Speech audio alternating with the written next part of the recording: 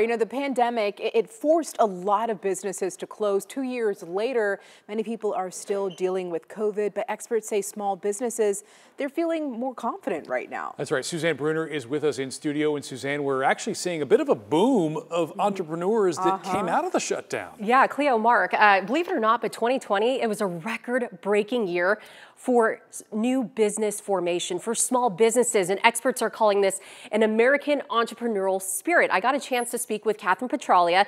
She's with Kabbage. It's a American Express owned company. And what she told me was they're seeing more small businesses outpacing small businesses that have actually closed. Some other important numbers to look at 90% of small businesses stayed open during the last COVID variant. Also, 70% reported no revenue loss. These are some pretty big percentage numbers here. Now, despite some uncertainty that we have been seeing, she explains why we're seeing more entrepreneurs right now um, people's lives just slowed down for a minute and you took stock of what was important. And I think that taking stock moment um, was really uh, something that caused lots and lots of people to say, you know what, I want to do my own thing. I'm I'm a subject matter expert. I'm passionate about this thing.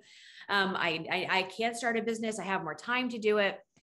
I've noticed a lot of people have started their own business too, and you've probably seen it on social media. She says social media has played a big role in giving entrepreneurs that platform to connect people with their products. And they've also noticed brick and mortar businesses doing the same thing, getting on social media, showing what products that they have so they can let their customers know. And Cleo, I know right now we're dealing with inflation. We're also dealing with um, hiring issues right now, but this is some good positives still coming out of that.